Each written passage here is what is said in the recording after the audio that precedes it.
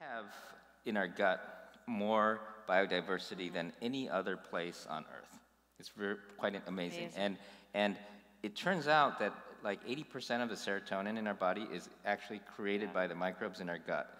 And we have this thing called the vagus nervous system that talks to all the microbes in our gut using neurotransmitters.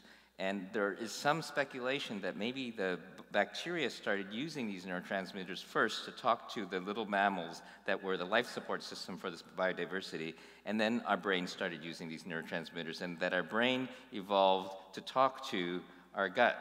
And what's interesting is there's, so, there's like a chemical in, in, um, in, in, in um, human milk that human beings can't metabolize, but it's specifically designed to feed a particular gut um, microbiome. And, and, then, and then there's like this really interesting stuff. Like if you look at rats, um, they don't actually, it doesn't help their fitness to be aggregated into groups, but they clump to groups and they eat their own feces, and so that the microbes can move between the rats. And even human beings, when we eat together, we're always sharing our microbes. And so if you think of, and then the reason actually human beings are actually useful for the microbes is that our large size reduces randomness, and we can maintain a stable temperature for the microbes. So, so, and then the reason you eat chocolate, there's a theory that there's actually a microbe that eats the chocolate that produces um, a chemical that we use, but that it's actually the microbes telling us that we like chocolate and not our brains. And so, so,